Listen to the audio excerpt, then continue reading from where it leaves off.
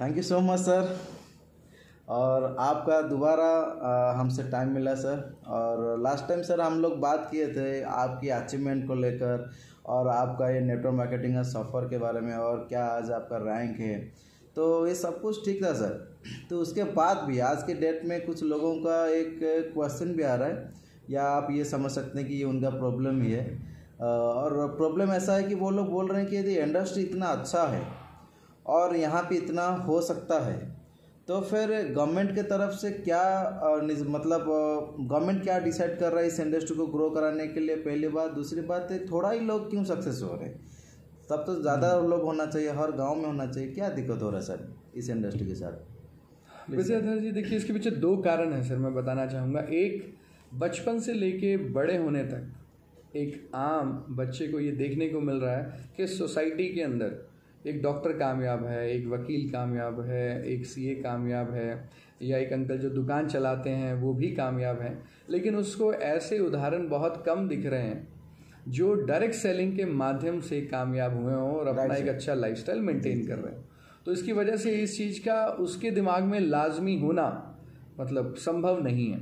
तो जैसे कोई व्यक्ति इस प्लान को किसी व्यक्ति के सामने लेके आता है जैसे आप अक्सर इस प्लान को शेयर करते हैं आप मोटिवेट करते हैं स्टूडेंट्स को भी मैंने देखा है फीमेल्स भी आपके ग्रुप में हैं प्रोफेशनल लोग भी आपके ग्रुप में हैं right. तो जब आप पहली बार किसी भी व्यक्ति से मिलते हैं तो उसको क्या लगता है कि ऐसा कैसे पॉसिबल है कि जहाँ करोड़ों लगा के लाखों मिलते हैं लाखों लगाने वाले को हज़ारों मिलते हैं तो अब कुछ हज़ारों के प्रोडक्ट लेके मैं कैसे लाखों करोड़ रुपए कमा सकता हूँ? जी जी। तो ये एक धारणा होने की वजह से लोग इमिडिएटली कदम स्टेप बढ़ाने से डर जाते हैं।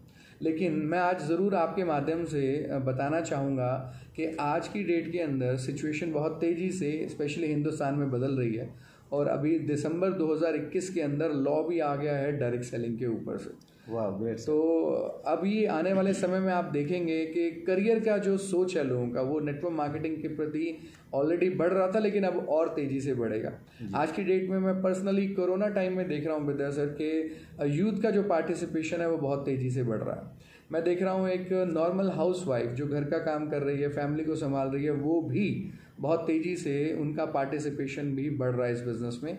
मैं एक यूएस की ट्रेनिंग को अटेंड किया मैंने लॉकडाउन में जिसमें करीब बीस हज़ार लोग थे online all over the world right तो उस ट्रेनिंग प्रोग्राम में सिक्सटी परसेंट से ज़्यादा लेडीज़ थी विद्या जी। राइट ना? तो आप सोच के देखिए अभी वही ट्रेंड इंडिया के अंदर भी धीरे धीरे आ रहा है और कोविड के आने की वजह से चीज़ों में बदलाव और ज़्यादा तेज़ी से आ रहा है। तो क्योंकि कामयाब लोग नहीं है पहली चीज़। दूसरा अभी तक कोई ऐसी पावरफुल प्रोडक्ट बेस्ड कंपनी भी हो जिसके पीछे लॉ भी खड़ा हो एक अच्छा सिस्टम खड़ा हो वो मिसिंग था राइट ना right. और सिस्टम के बारे में मैं आपको और चीज़ बोलूँगा जहाँ पर लोगों की गलती है ये तो वो हुआ जो उन्होंने आसपास देखा बेटा जी। अब मैं आपको एक और बड़ी इंटरेस्टिंग सी बात बताता हूँ। लोग इस बिज़नेस में इस सोच से आते हैं कि मेरे को सिर्फ़ दो चार छः लोगों का एक छोटा सा नेटवर्क शायद बनाना है या किसी को कस्टमर बनाना है और ये बिज़नेस मुझे करोड़ों रुपए देगा। अपने आप हो जाएगा। हाँ अपने आप हो जाएगा। लेकिन एक वर्ड है जिसका नाम होता है सिस्टम बेटा ये बिज़नेस आपको लाखों करोड़ रुपए तो देगा, लेकिन उससे पहले आपको एक सिस्टम फॉलो करना होगा और वो सिस्टम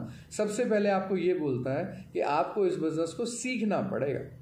आज मैं सॉफ्टवेयर इंजीनियर हूँ, सर, मैंने मैंने बीटेक का चार साल का पढ़ाई किया, उसके बाद एक नौकरी ने कहा, गौरव बजाज तुम तेरह हज़ार पाँच सौ रुपये की सैलरी के काबिल हो।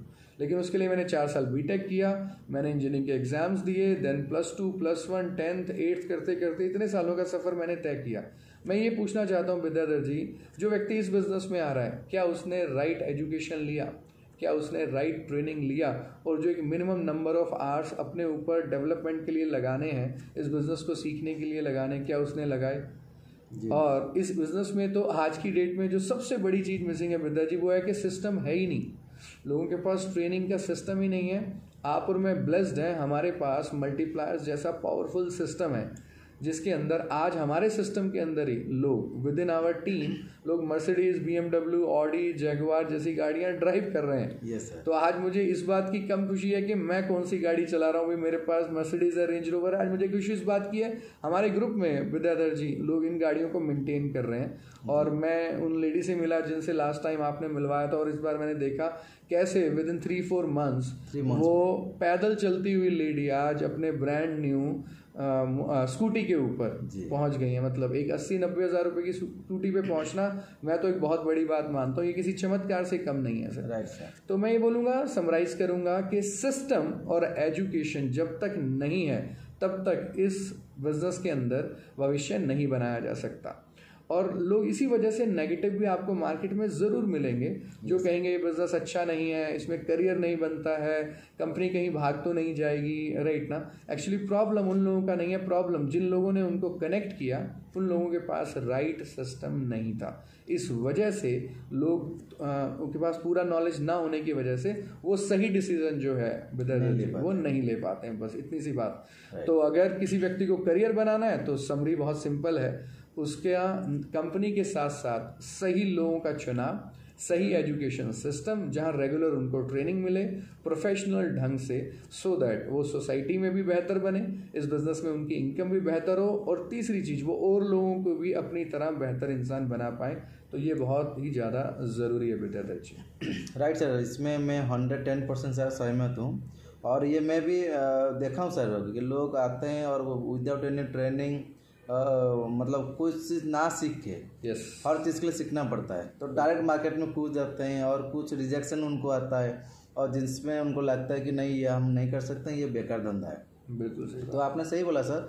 मार्केट में आज के डेट में प्रोफेशनल लोगों का कमी है और हम लोग सो बहुत ब्लेस्ड हैं कि हमारे पास एक मल्टीप्लाई जैसा सिस्टम है और दुनिया का सबसे बड़ा मेंटर मिस्टर दीपक बजाज जैसे ब्रांड हमारे साथ है सर। और हम लोग इसीलिए बहुत तेज़ी से ग्रो कर रहे हैं और हमारे साथ जो जो लोग साथ दे रहे हैं वो भी खुद ग्रो कर रहे हैं। जैसे कि मैं भी सर लास्ट सिक्स मंथ में लगातार छः रैंक हमारा क्लब रैंक और ऑफिशियल रैंक मिला के तो मैं खुद टच कर पाया हूँ। तो thank you so much sir आपका ये इन्फॉर्मेशन हमारे सभी दोस्तों को सभी डिस्ट्रीब्यूटर को हेल्प करेगा। तो thank you so much sir joy my lifestyle right ji